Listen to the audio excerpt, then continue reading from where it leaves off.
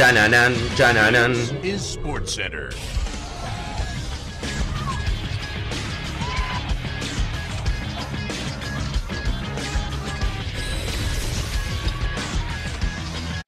Hola gente, ¿cómo andan? Un saludo grande para todos, yo soy Saño y les traigo un nuevo video al canal. En el día de hoy vamos a estar hablando acerca de por qué todos los jugadores están yendo del Chelsea. Una fuga masiva estamos viendo en Stamford Bridge de muchísimos jugadores, algunos muy talentosos, jóvenes y a altos costos. El Chelsea está siendo el equipo que más dinero ha ingresado hasta el momento en el mercado de fichajes y vamos a hablar un poco acerca de los motivos que han llevado a esta sangría en el plantel que hace no mucho tiempo, recordemos, 2021, fueron campeones de Champions. Vamos a hablar un poco acerca de los jugadores que se han ido, de los que probablemente se van a ir, de los que pueden llegar a ser nuevas incorporaciones que les adelanto no van a ser tanto y principalmente los motivos que han llevado al Chelsea a tomar esta decisión de recortar tanto el plantel. Así que espero que les guste la idea del video y que me dejen su opinión en los comentarios, que se suscriban al canal activando la campanita y que sobre todo me sigan en las redes sociales, Twitter, Instagram, TikTok, tienen todos los links en la descripción para poderse pasar, como así también del canal secundario y sin dar mucha más vuelta, comenzamos hablando del tema.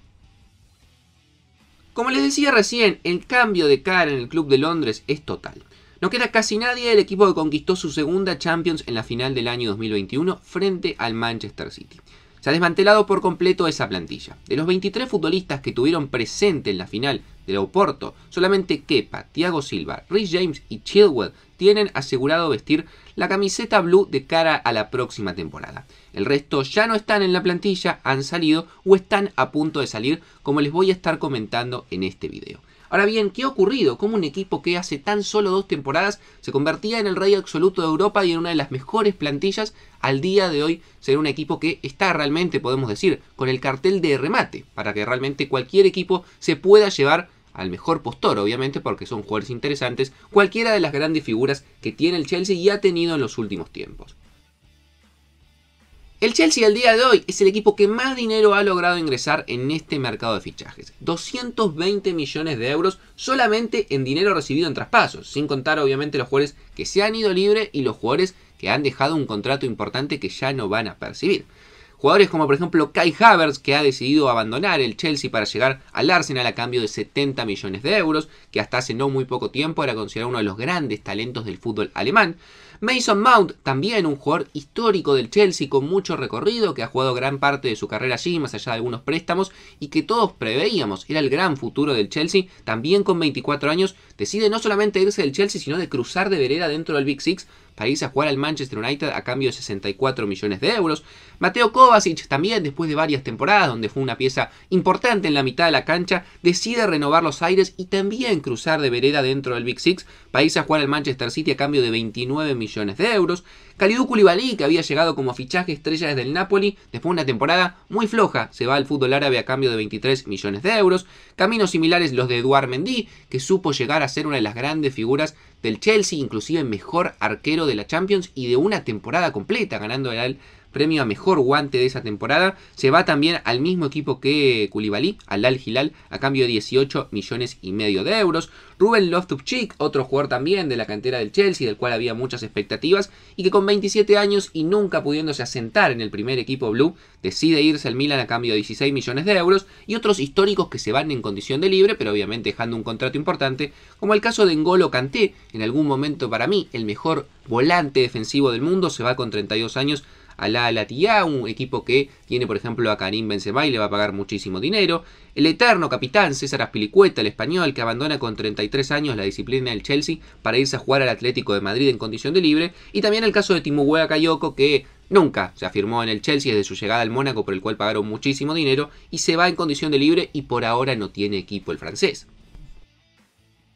Esas son las nueve salidas confirmadas que tiene el Chelsea el equipo. Sin embargo, si vamos a aquellos que están en la rampa de salida, que ya está prácticamente confirmada que no van a continuar la próxima temporada, el número puede duplicarse hasta 18 jugadores. ¿A quiénes me refiero? Por ejemplo, bueno, algunos que volvieron de préstamos como Ethan Ampadu o Malang Sarr, ambos centrales, uno galés que viene a jugar el Spezia, otro francés que viene a jugar el Mónaco, se han sumado al plantel después de sus respectivos préstamos y claramente no van a ser tenidos en cuenta, así que tendrán que buscarse equipo. Se habla de que Marco Curela se puede llegar a ir, el lateral izquierdo de 24 años que llegó a cambio de 65 millones de euros desde el Brighton y que no ha rendido de acuerdo a las expectativas y podría también abandonar la disciplina blue. El caso de Abdul Rahman Baba que viene de jugar en el Reading de la segunda división, jugador que también claramente no tiene nivel ni tampoco lugar en la plantilla. Se habla de que Conor Gallagher, un jugador joven de 23 años, que no ha tenido una mala temporada, es cierto, pero quizás tampoco ha sido de lo más regular en el Chelsea, podría irse también a otro equipo inglés. Se habla en la delantera de la casi confirmada salida de Christian Pulisic, otro de esos talentos que el Chelsea fichó en su momento el Dortmund, que había muchas expectativas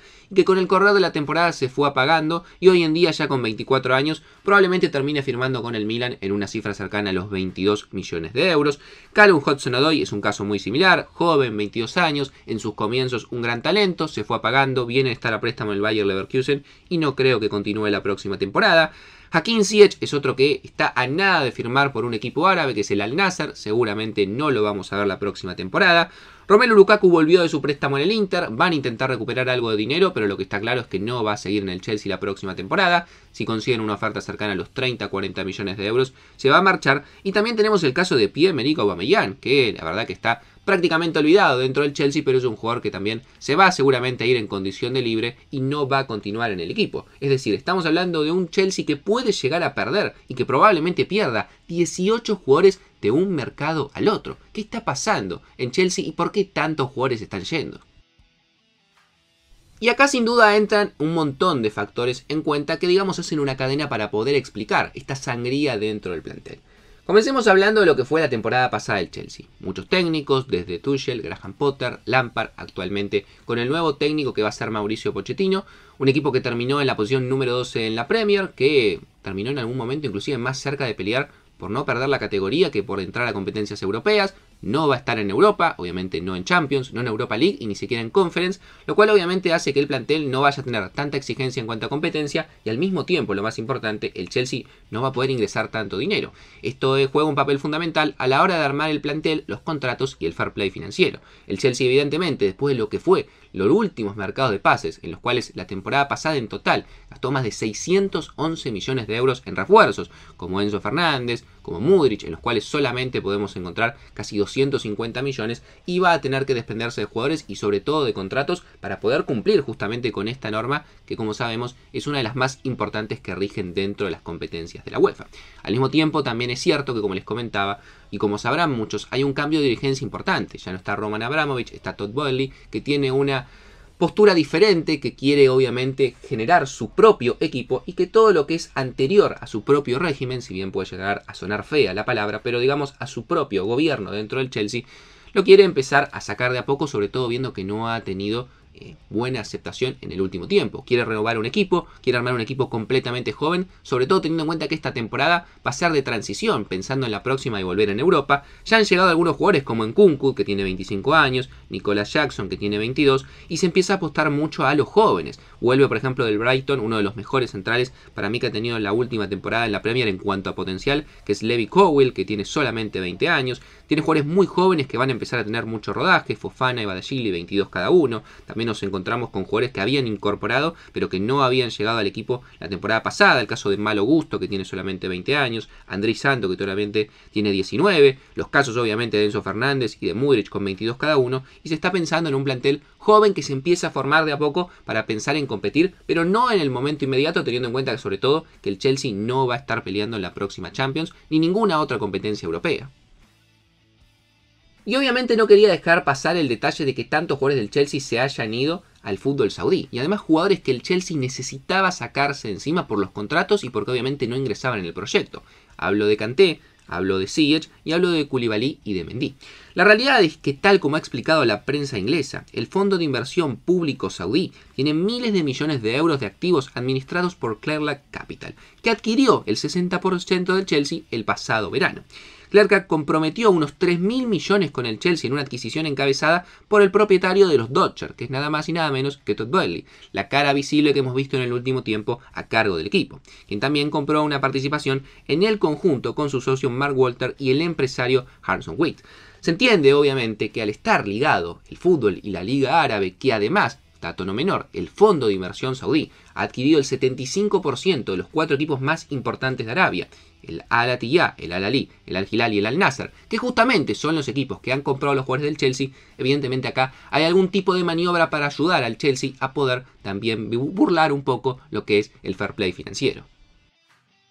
Así que veremos qué pasa con el Chelsea esta temporada. Lo que está claro es que va a renovar gran parte del plantel, que los históricos los jugadores que venían estando normalmente ya no van a estar, y me parece una reconstrucción interesante, teniendo en cuenta que esta temporada no va a estar en Europa, adquirir jugadores jóvenes, darle rodaje, que empiecen obviamente a elevar su nivel y a partir de ahí sí generar un equipo competitivo de cara a los próximos años. No mucho más para decir, espero su like y que obviamente me dejen su opinión, que se suscriban al canal activando la campanita y que me sigan en las redes sociales que tienen todos los links en la descripción y sin darles mucha más vuelta nos estamos viendo mañana en un próximo video.